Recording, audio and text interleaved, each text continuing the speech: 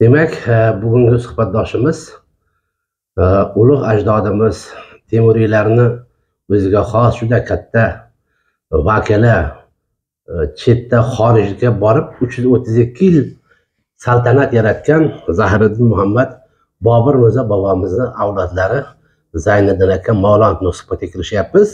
Zayn aka avvalo suhbatga xush kelibsiz. Rahmat.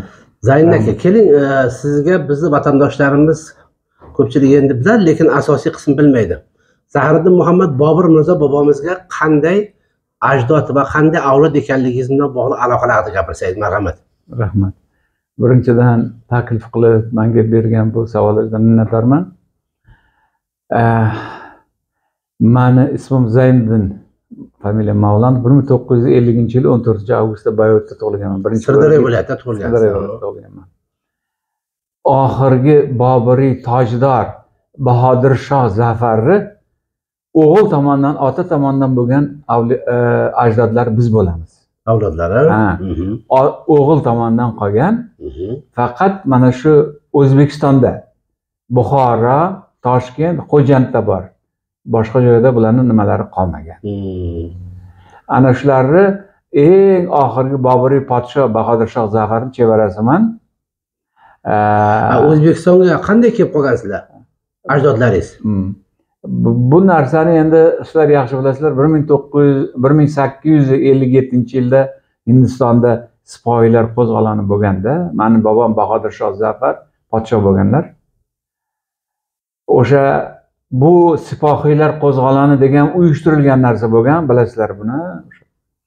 Shunda bobomni o'sha inglizlar sud qilib birmani rangun degan shaharga surgun qilgan birma ham hindistonni bir shtati uzoq shtati bo'lgan. Mhm. shahzodalar mo'g'ul mirzo qizi sulton abu bakr mirzo faxriddin deganlarni otib tashlagan. Inglizda inglizlar. Hmm. ularda shunaqa deviz shunaqa shior bo'lgan. Bu urug'dan bitta ham erkak qolishi kerak emas degan. Hammasini qirg'in qilish kerak. Qilish kerak. Qiz ayollarga tegmagan. Ana shunaqa qilib bularni ichida o'sha mani bobom shahzoda mirhazor titullari ismlari mirzo muiddin mirzo muiddin Mhm. endi detallarini man chuqur bilmayman qanaqa e, nimalarini qanaqa o'sha bo'lganligini.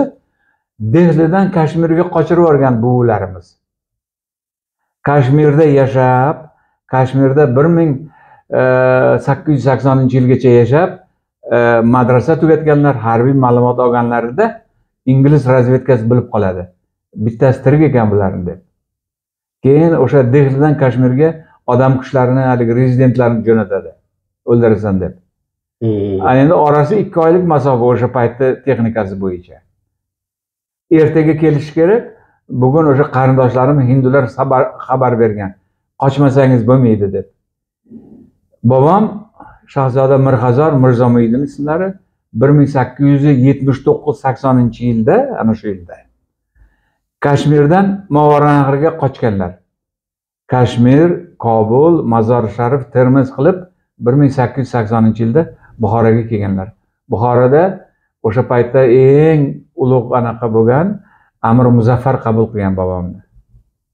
Qabul qilib bobomga mir general unvonini bergan. Yana o'sha shahzodaga qanaqangi o'sha paytda e, imtiyozlar mavjud bo'lsa hammasini muhayyo qilib yana juda yam katta territoriyani bobomga voqiflab bergan voqif hujjatlab bergan. Mhm. bir ming to'qqiz yuz bir ming sakkiz yuz saksoninchi yildan bobom o'sha amir muzaffar amir said olimxon amir e, e, amir abdulahad amir said olimxonda xizmatda bo'lganlar. Shunaqa qilib bir ming to'qqiz yuz yigirmanchi yilgacha e, nimada bo'lganlar? O'sha xizmatda general unvonida buxoro amirligida. Buxoro amirligida. Bir ming sakkiz yuz to'qson oltinchi yilda bir ming sakkiz yuz to'qson oltida. O'g'illari tug'ilgan nosiriddin mirzo mana adam. Bir ming sakkiz yuz to'qson olti. bir ming to'qqiz yuz yigirmanchi yilgacha mir arab madrasasi va turkiyada fitratlar bilan birga o'qib kelganlar adam. Arab stilikasini o'n ikki turini adam biladigan darajada bilma- bo'lmagan nastaliq taliq hiloli rayhon kufiy shikastlar sulh deydi. Hammasini juda yam chuqur o'rgangan anaqa bitta o'g'il bo'lganlar. Mhm. bir ming to'qqiz yuz yigirmada mani bobom man hozir bittasini aytmadim. Bir ming to'qqiz yuz o'n yettinchi yilda endi dadam уже balog'atga yetganlar bobom buxoro amirini qushbegisi bilan devon begisi devon begisi bilan quda kirishganlar. Quda kirishib qizi hadiya begimni adamga kelin qilib olganlar adamga demak sizni onangiz bo'ladi u kishi. Onam bo'ladilar. U amirni avlodi. Devonbegini qizi. Bir ming sakkiz yuz o'n bir ming to'qqiz yuz o'n yettinchi yilda. Ulardan o'sha yili onam bu narsani hadeb takrorladilar. Bobong qarshida qazo qildi bobong anaqa bo'ldi dedilar. E, haqiqatdan ham mani bobom o'sha temuriy bobom bahodir shoh zafarni e, nevarasi bobom shahzoda mirqazor e, bir ming to'qqiz yuz o'n yettinchi yilda qarshi viloyatini mushqoqi degan joyda qazo qilgan ekanlar. Buni qanaqa qilib topdim man sizlarga aytib beraman hozir shu narsani. Man nimaga chiqqanimdan keyin o'zim o'yladim qanaqa qilib bobomlar bu yoqqa o'tgan ekan? Movarannahrga deb shu narsalarni o'zimizni o'zbekistonni markaziy arxiviga murojaat qildim. Arxiv haligi kino studiyani oldida arxiv. Chilonzor ko'chasini oxirida. Ular menga bir yillik anaqa berdi. Bilet berdi kirib anaqa qilishga. O'rganishga. Ha o'rganishga. Shunga aytdiki qanaqangi hujjat agar bizda bo'lsa hammasini sizga beramiz zayn aka dedi endi man o'sha kirishimdan oldin bir yarim yil forsiy turkiy anaqani o'zim o'rgandim. Alifboni anaqani o'rgandimda keyin ular menga birinchi o'ylagan fikrim shunday bo'ldiki bobom general gubernatorni kanselyariyasida bobom to'g'risida informatsiya bo'lishi kerak deb man turkiston general gubernatorini o'ttiz besh tom o'ttiz beshta tom kitobini o'ttiz beshta tom kitobini hammasini bir qatorma qator ko'rib chiqdim. Lekin ularni ichida bobom to'g'risida informatsiya yo'q ekan. Lekin manga o'sha muzeyni xodimlarini otasiga rahmat. Ular menga aytdiki qanaqangi informatsiya kerak bo'lsa sizga kserokopiyasini beramiz dedi. Shularni ichida amir temur bobom mirzo ulug'bek bobomga tegishli bo'lgan narsalarni man ko'chirib oldim o'shalardan. Ruxsat berishdi keyin ular menga aytdi bir yarim yildan keyin zayn aka bizni qo'limizda buxoro amirini devonbek e, qushbegisini kanselyariyasi bor. Faqat bitta anaqasi bor buni. Forsiy turkiyda yozilgan bu narsa. Agar qo'lingizdan kelsa biz shu narsani sizga beramiz deganda lekin o'zimga ishonib ishonmasdan man rozi bo'ldim shu narsaga. Keyin o'shani qarashni boshladim. E, u yerda shunaqa sistema sizni arxivga kiritmaydi. Qo'lingizda manda kartoteka bor. Kirilda yozilgan. Har bitta varaqni ochib ko'rasiz. Sizga agar shu narsa qiziq bo'lsa yo taalluqli bo'lsa o'shani olib e, ko'chirib bunaqa yozadigan anaqasi bor blanka. Blankaga to'ldirasizda. To'ldirib yozsangiz sizga ertasi kuni shu narsa bo'lsa sizga olib kelib berishadi. Man shuni qaradim taxminan yarim yildan keyin qarasam bitta qo'limda bitta qog'oz rus tilida e, rus tilida yozilgan kirilda. Выборы e, mirxazar qarshi deb yozilgan. Qaradimda endi onam aytadilar qarshida bobong qarshida qazo qilgan qarshida dedilar.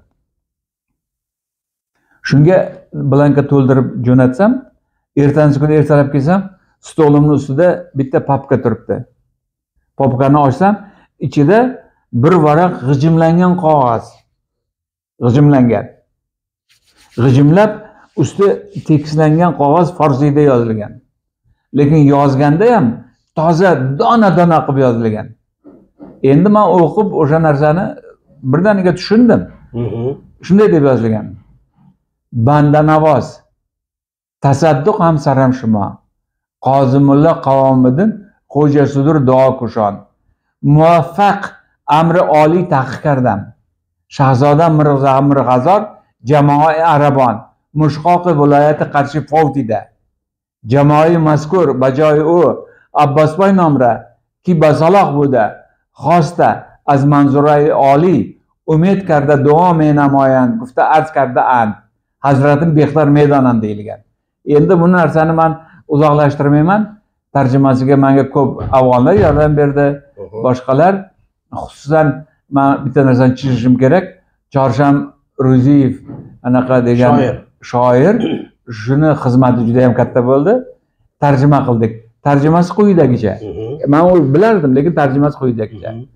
Jonimni sizga fido qildim. Qozimulla qavmiddin xo'jasudur qavmiga mansubman. Sizni duo qilib topshirgan oliy amringizni tekshirdim. Shahzoda mirzo mirg'azor arablar jamoasi qarshi viloyatni mushqoq degan joyda fovt bo'ldi qazo qildi. Mazkur jamoa sizdan duo qilib umid qilib kutib qoladi. O'rniga abbosboy degan odamni shu jamoada xizmat qilganini sizdan e, talab qilib qoladi deb yozganda oxiriga yozgan hazratim behtar menon amir hazratlari bizdan ko'p biladi deb yozilgan. Ana shunaqa qilib e, man o'sha bobomni nimalarini ham topdim o'sha bobomni anaqalarini. Onamni aytgan gaplari haqiqat ekanligini onam har gapda chizadilar. Bobong qarshida qazo qilgan qarshida. O'ylardim nimaga qarshi bilan mani bobom nima aloqasi bor? Bobomni o'sha paytda amirni nimasi?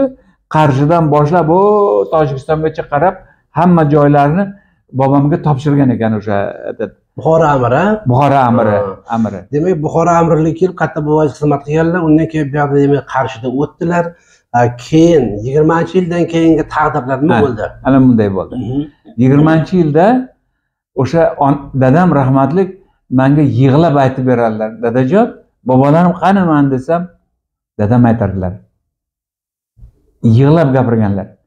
Dadangni e, bobolaringni yalang oyoqlar otib tashlagan otib tashladilar nimaga yalang oyoq derdim tushunmasdimda man o'sha mani bobom o'sha buxoro amiri devonbegisi bobomni hazrati bovodinga olib borib o'zlariga lahatlarni qazdirib otib tashlagan ekan sovetlar o'sha paytlar. Sovetlar a sovetlar. Shunday deb dadam judayam bir ahdun nima qilardilar.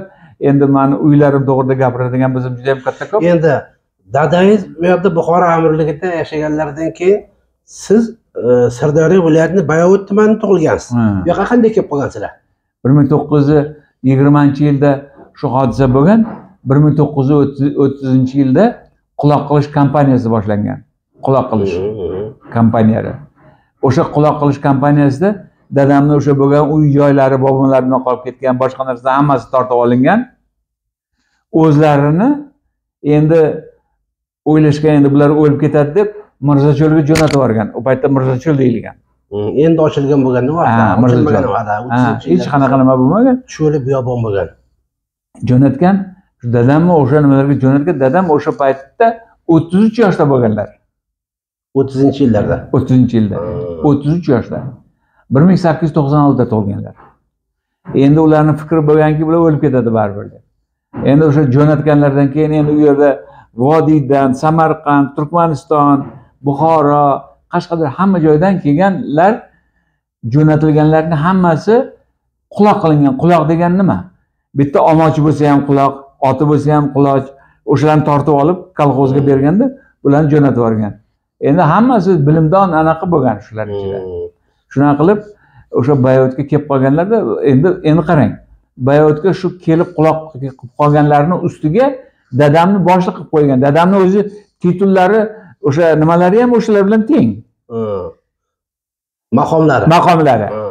Lekin endi nima uchun? Dadamni ilmlari kuchli bo'lgan shuning uchun ularga endi hozirgi ta'bir bilan aytadigan bo'lsak tavil chiqib qo'yganda u kishi. Ana shunday.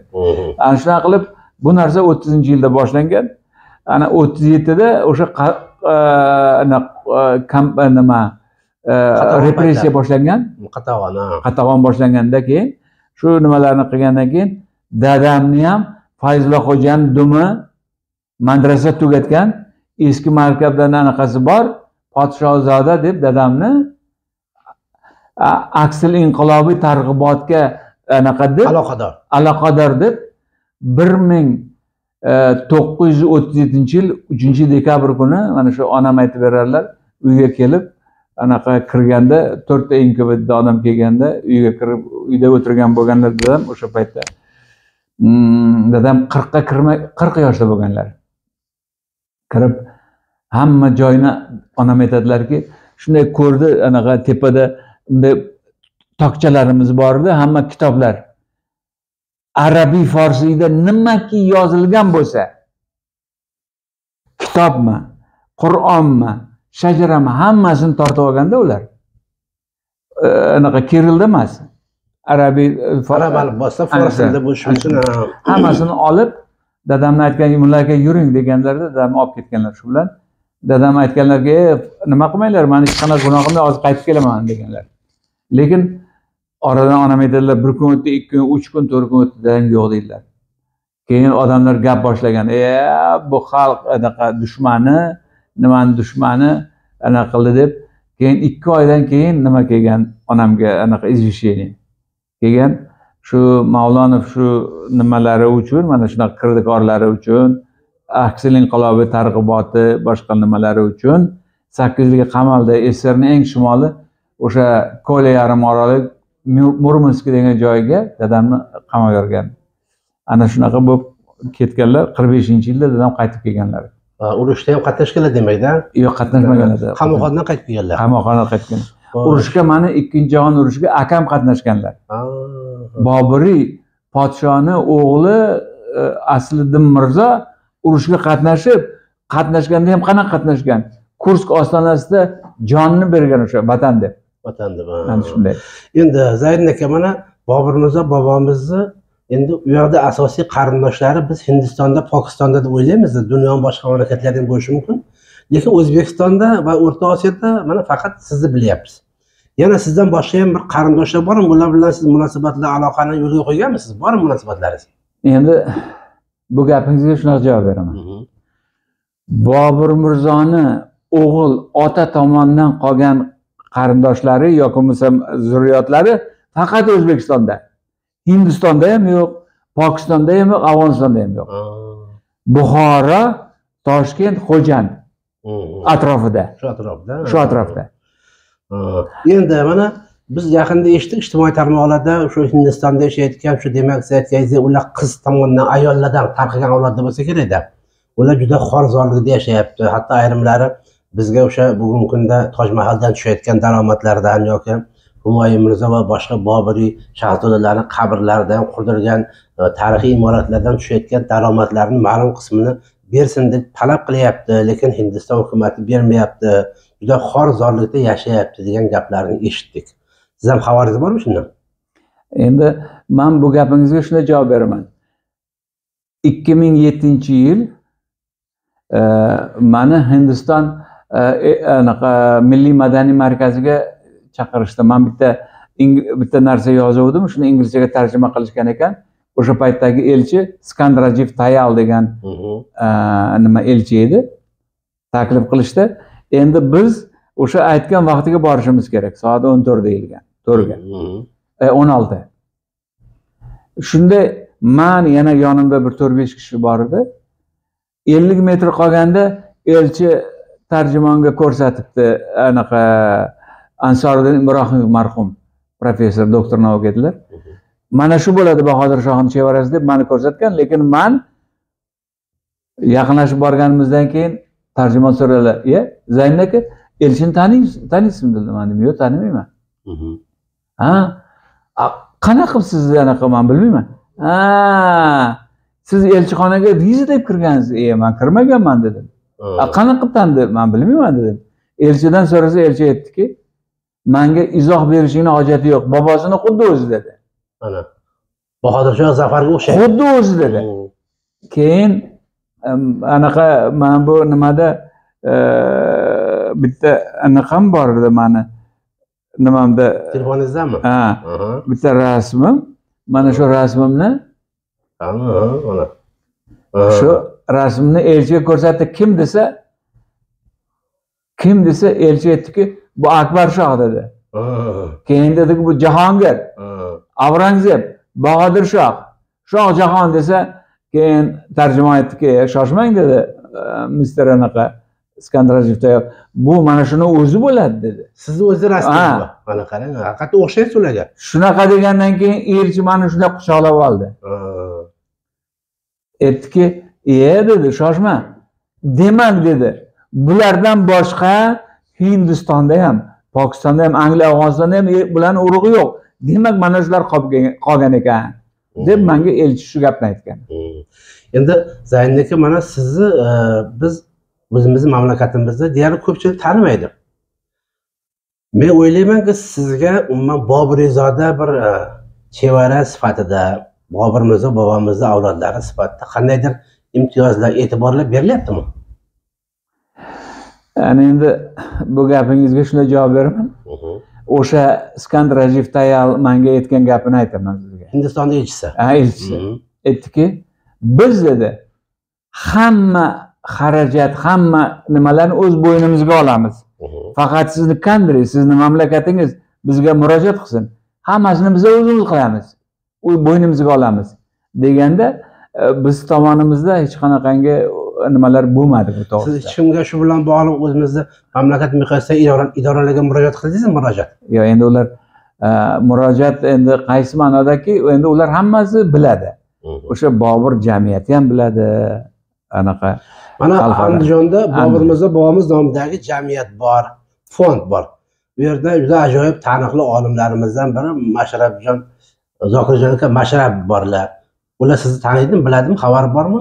Biladi u kishi endi olim desak ham bo'ladiku. Lekin u yerda u kishidan ham yuqorilari bor. Kimlar bor u yerda? Vahob rahmon degani bor. Haqiqatdan ham anaqa. Rustam shamsiddinov degani bor. Professor domlamiz ajoyib inson. Yo ajoyib deb bo'lganda ham u kishi haqiqiy biladiganlar Mhm. E, undan oldin hoji aka o'tib ketdilar anaqa. Mhm. E, u kishi professor edilar o'tib ketdi u kishi. Endi qarang. Gapiradiganlari bularni ichida hammasi emasda. Shuning uchun bular biladi bizni borligimizni biladi juda yam yaxshi biladi. Endi bundan keyin masalan bobur mirzo bobomizni e, tarjima hollari tarixi bilan bog'liq darsliklarga adabiyotlarga sizga o'xshagan avlodlarni kiritish kerak endi. Masalan mamlakat miqyosida bir alohida e'tibor qaratish kerak deb o'ylaymiz. Chunki e, bir mamlakatdan borib hindistondagi katta bir buyuk mamlakatda uch yuz o'ttiz ikki yillik saltanat qurib hind xalqini mehr muhabbatini qozonib qancha ilm fan madaniyatda taraqqiyotga erishgan bobur mirzo o'zimizni ajdodimizni bu yerdagi avlodlariga baribir e'tibor kerakku. O'zi nima deb o'ylaysiz? Man mani endi agar fikrimni bilmoqchi bo'lsangiz man birinchidan o'zim mamlakatim yurtim o'zimni anaqamga hech ana shu qo'limdan kelgan hamma nimani tilayman. Lekin bu masalaga keladigan bo'lsangiz e, man uchun juda yam og'ir bu narsa. E, nima demoqchiman? Manga bir necha murojaat bo'lgan. Erondan afg'oniston hatto hindistondan. Man bularni hammasini rad qilganman. Mani o'zimni vatanim bor yurtim bor o'zbekistonim bor. Bobomni turpog'i anaqalarim turpog'i hammasi mana shu yerda. Deb man bu narsadan rad qilganman. Shuning uchun fikrim qanaqa? Endi man o'ylaymanki bir kun keladi bular hammasi ochiladi hammasi oydin bo'ladi hammasi bilinadi. Lekin yana bir marta qaytaramanki ota tomonidan faqat mana shu o'zbekistonga nasib qilgan ekan. Mhm. o'zbekistonda mana shu buxoro toshkent xo'jan tamom boshqa joyda yo'q bobur bobur mirzo bobomizni avlodlari ota tomonidan faqat shu faqat buxoro xo'jand toshkent. Toshkentda toshkentda. Rahmat.